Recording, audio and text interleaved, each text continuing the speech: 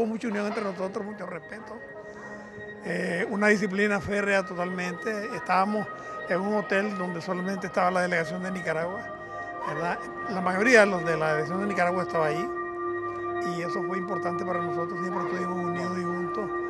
Eh, posteriormente ya estuvo allá con nosotros, después vino, llegó Nemesio y la cosa se consolidó más.